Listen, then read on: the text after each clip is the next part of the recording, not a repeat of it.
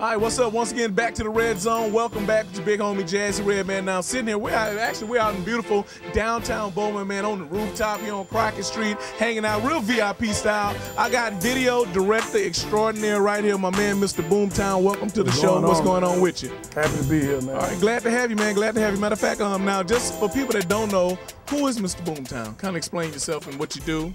I'm a music video director, you know, um, from Port Arthur, Texas. Um, history, I went to Lincoln High School, uh, went to the University of Houston on a football scholarship, majored in radio, television, film, and uh, actually worked at Channel 12 and Channel 4, the KBMT, ABC affiliates, um, um, ABC and NBC affiliates here in Beaumont, and then moved on, worked for the Dallas Cowboys, and then started up my, my company, Boomtown Productions, back in uh, 99. Okay, back in 1999. So Yeah. is that then where you started uh, to get the bug as far as uh, uh, directing videos, or what No, were you doing I- before you started Well, I directing? mean, not really. That, that's what I was doing. I actually worked for the Dallas Cowboys, producing the Jerry Jones show, all that type of stuff for the uh, Cowboys and everything.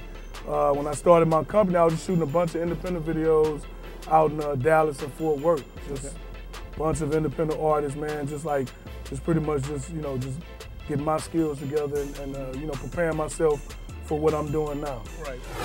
I know you've been putting it down, you've been grinding, and, and is that a point where you say, okay, it's finally paying off now, I'm Right. getting recognized, it's on and popping now? How, how did that I feel, mean, it that was, whole it was. I mean, it was a blessing to, to just be recognized. But I mean, like, I wasn't really in this to, uh, you know, for the accolades and everything. I'm basically in it because I love what I do. Right. And if that comes along with it, that's cool. You know, sports taught me a lot, and it's, you know, if you, you don't really get out and like in sports, they always say don't read your, your, your newspaper clippings because that's when you probably won't do good after that. You know what I'm saying? So it's like You start know, feeling yourself yeah, yeah, so to we, speak. We try not to. We try to just keep it, you know, you know, just stay normal cats or whatever, and, and just work hard. So it's like that was a, a great honor and everything, and you know that that actually put me out there for other people to see that who who wouldn't have normally known who Mr. Boomtown was and everything. But I mean, man, I, I enjoyed all the press on it. Right. Okay. Now, now, um, you work with a lot of artists, did a lot of videos. Now we're gonna take a break and come back. We're gonna talk about some of the artists that you haven't worked with that you like to work with. Okay. So we'll be right back, Mr. Boomtowns, the Redd Zone. Take a break. Be right back.